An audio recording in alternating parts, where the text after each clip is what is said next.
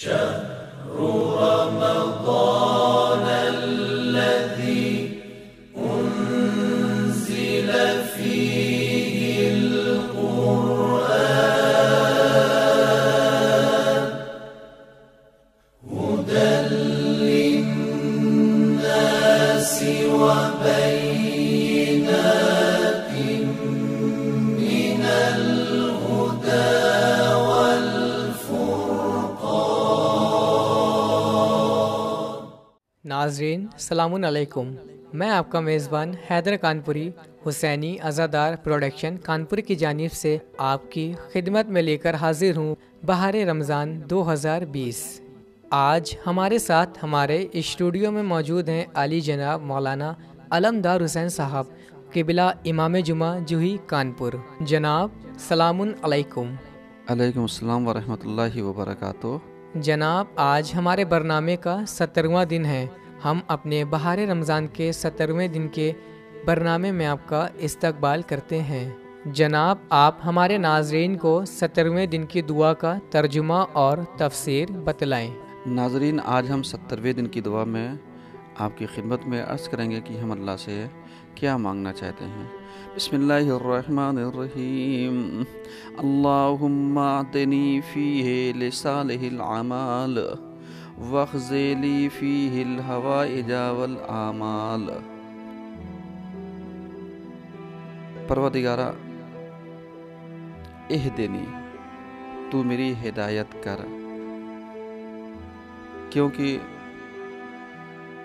आज गुमराहियों का दौर है, परेशानियों का दौर है, जलालत का दौर है। लिहाजा अगर तेरी हिदायत नहीं होगी तो मैं नेक कामों की तरफ़ कैसे आऊँगा? क्योंकि तेरी हिदायत ही हमें नेक कामों के ऊपर बाकी रख सकती है तो अल्लाहुम्मा एह देनी फ़ी है। इस माह मार के रमज़ान में ले साल आमाल। किन चीज़ों की हिदायत करना? ताकि हम आमाल सालहात अंजाम दे सकें।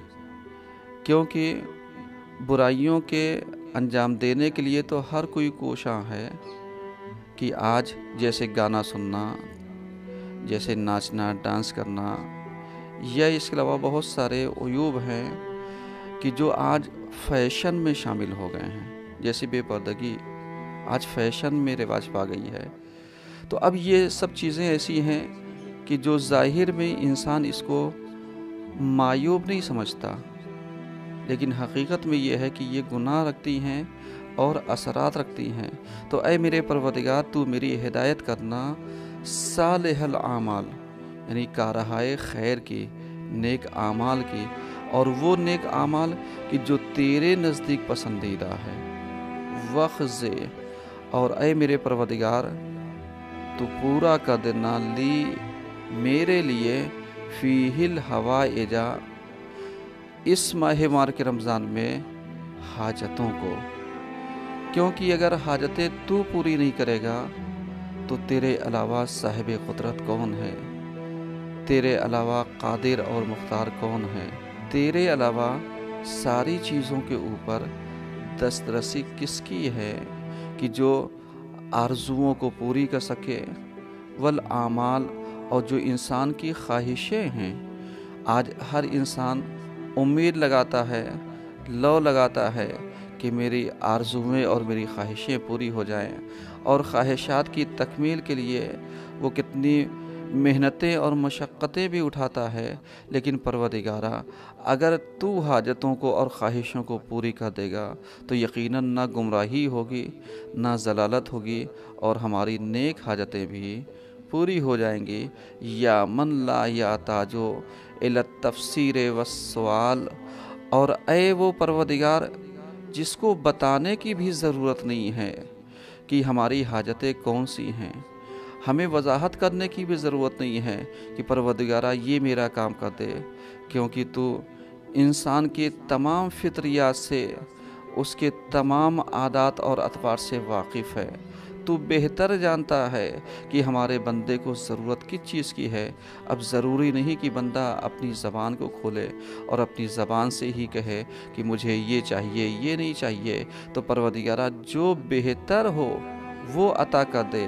क्योंकि अगर जो मैं तुझसे सवाल करूँगा तो हो सकता है वो मेरे हक़ में बेहतर ना हो। और कोई ऐसा सवाल भी नहीं कि जिसकी हम तशरी करें तुझको डिटेल बताएँ। तेरे सामने हम उज़र तराशी करें। तेरे सामने हम रीज़न को रखें कि मैंने इस चीज़ को क्यों मांगा है? तेरे सामने हाथ को क्यों फैलाया है? या आलमन ए वो आलिम, बेमाफ़ी सदूर आलमीन, कि जो तमाम कायनात के दिलों में और उनके सीनों में जो चीज़ें पाई जाती हैं, वो तमाम चीज़ों का तू जानने वाला है। तो अब तू बेहतर जानता है कि हमारे सीनों में आरजुएँ कौन सी हैं? हाजतें कौन सी हैं? ख्वाहिशात कौन सी हैं? हम तुझसे किन चीज़ों से लो लगाए हुए हैं?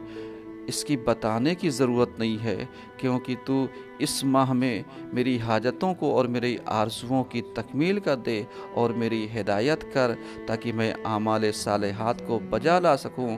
सल्ला मोहम्मद वाले व आल ताहरीन। क्यों इसलिए कि तू आल मोहम्मद के ऊपर और उनकी आल ताहरा के ऊपर यानी दरूद भेज और अपनी रहमत नाजिल फरमा और इन्हीं के तुफ़ैल में हमारी आरजुओं को भी पूरा फरमा। जनाब, आप हमारे नाजरीन को सत्तरवें दिन के रोज़े का सवाब बतलाएँ।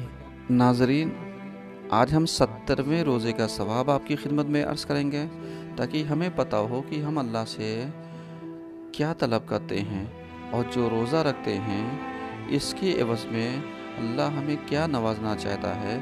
तो पैगंबर इरशाद फरमाते हैं सत्तरवें दिन खुदावंद आलम फरमाएगा, हमने यकीनन उसको और उसके वालदेन को बख्श दिया। यानी अल्लाह रोज़ेदार को और रोज़े रखने वाले माँ बाप को बख्श देता है और उन पर से क़यामत की सख्तियों को उठा लिया है। तो आप जानते हैं कि दुनिया में जितनी भी परेशानियाँ हैं, अल्लाह ने इन परेशानियों को कम रखा है, नस्बत इसके कि जो आखरत की सख्तियाँ हैं और दुशारियाँ हैं और मुश्किल हैं, कि जहाँ पर हिसाब और किताब सख्त होगा, जहाँ पर इंसान से सवाल और जवाब सख्त किए जाएँगे तो अब अगर अल्लाह सत्तरवें दिन रोज़ा रखने वाले के इन चीज़ों से उसको नजात दे दे सख्तियों से बचा ले तो इससे बेहतर और अजर क्या हो सकता है कि ख़ुद भी महफूज रहे और उसके माँ बाप भी महफूज रहेंगे? जनाब आज हमारे पास चंद सवाल आए हैं। आप उन सवालों का जवाब हमारे नाजरीन को दीजिए। जनाब हमारा पहला सवाल क्या रोज़े का कफ़ारा फ़ौर देना चाहिए या नहीं? आप इस सवाल का जवाब दीजिए। आपने जो सवाल किया है कि क्या रोज़े का कफ़ारा फ़ौर देना चाहिए? तो मेरे अज़ीज़ जो हक़ है कोशिश की जाए कि उसे फ़ौर अदा करना चाहिए लेकिन जानबूझ करके उसमें ताख़िर नहीं करनी चाहिए। जनाब हमारा दूसरा सवाल अगर किसी इंसान ने पिछले साल का कफ़ारा नहीं दिया है तो उस पर क्या हुक्म है? कि अगर किसी इंसान ने पिछले साल का कफ़ारा नहीं दिया है तो उसके ऊपर क्या हुक्म है तो हम बताते चलें कि शायद सवाल करने वाले का मकसूद ये रहा हो कि अगर किसी इंसान के ऊपर पिछले साल का कफ़ारा रह गया है और वो किसी भी वजह से उसको अदा नहीं कर सका है तो क्या उसके ऊपर कफ़ारे में कोई बढ़ोतरी तो नहीं होगी? तो हम अर्ज़ करते चलें कि पिछले साल जो उसके ऊपर बकाया है अदायगी का, वो फ़ौर अदा करेगा और उसके ऊपर कोई इजाफी हुक्म नहीं लगेगा। जनाब, हमारा तीसरा सवाल, अगर प्यास की शिद्दत में, रोज़े की हालत में अगर कोई इंसान कुल्ली कर ले और उस दरमियान उसके हल्क में पानी चला जाए तो उसके रोज़े का क्या हुक्म है? आपने जो तीसरा सवाल किया है कि अगर किसी को प्यास की शिद्दत में अगर कोई कुल्ली कर ले और उसका पानी हलक में चला जाए तो क्या हुक्म है? तो मेरे अजीज़ों, यानी ये जो महीना चल रहा है लॉकडाउन है, इतनी शिद्दत की गर्मी भी नहीं है, और इसमें अगर किसी को प्यास की शिद्दत लग रही है तो बर्दाश्त करे। और अगर वो किसी भी वजह से कुल्ली कर रहा है, और कुल्ली करते वक्त अगर पानी हलक के नीचे चला जाता है तो उसको उस दिन के रोज़े की कज़ा रखनी पड़ेगी।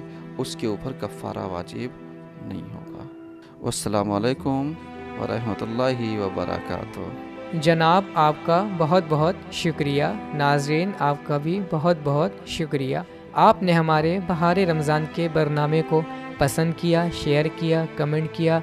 अगर आपके पास रमज़ान से मुतक किसी भी तरह का कोई भी सवाल हो, आप हमारी हेल्पलाइन नंबर पर रबता कायम करें या हमारे व्हाट्सएप पे अपने सवालों को भेजें। इन हम आपकी खिदमत में कल फिर हाजिर होंगे, तब तक के लिए खुदा हाफिज़।